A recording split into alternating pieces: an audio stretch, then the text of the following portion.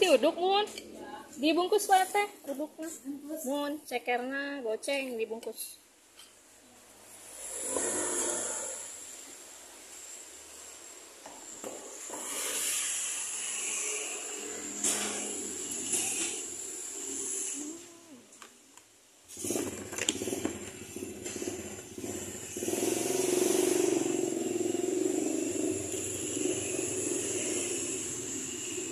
Itu nganggo nanaon, nganggo goreng bawang bae. Hmm.